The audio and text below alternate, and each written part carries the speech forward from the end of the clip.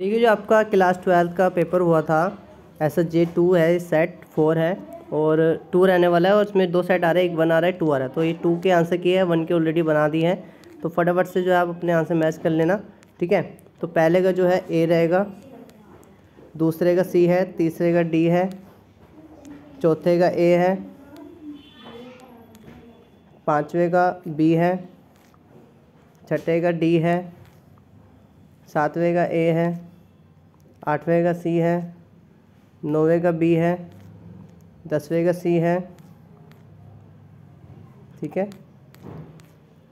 ग्यारहवें का बी है, बारहवें का डी है, तेरहवें का ए है, चौदहवें का डी है, पंद्रहवें का बी है, सोलहवें का डी है, सत्रहवें का सी रहेगा, अठारहवें का ए है, उन्नीस का ए है बीस का बी रहेगा। इक्कीस का सी है, बाईस का बी है, तेईस का डी है, चौबीस का ए है, पच्चीस का सी है, छब्बीस का ए है। सत्ताईस में थोड़ी कंफ्यूजन है, ए भी लग रहा है, डी भी लग रहा है तो आप मुझे कमेंट करके ज़रूर बताना। वैसे तो ए जो है सही है, ठीक है? अट्ठाईस का सी है, उनतीस का डी है, तीस का सी है इकतीस का सी है, बत्तीस का ए है,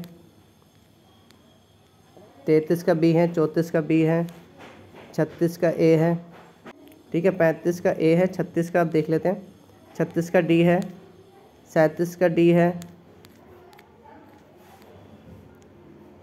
अड़तीस का बी है, उनतालीस का ए है, चालीस का ए है, इकतालीस का सी है।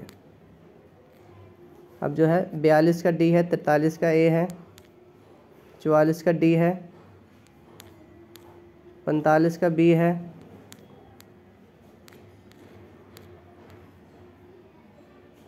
छियालीस का बी है, सैंतालीस का सी है, अड़तालीस का ए है, उनचास का डी है और पचास का जो है बी रहेगा। तो चैनल को ज़रूर सब्सक्राइब करें, ऐसे आपको आंसर की प्रोवाइड करते रहेंगे और अगर आपको किसी में डाउट है तो प्लीज़ कमेंट करके बताना।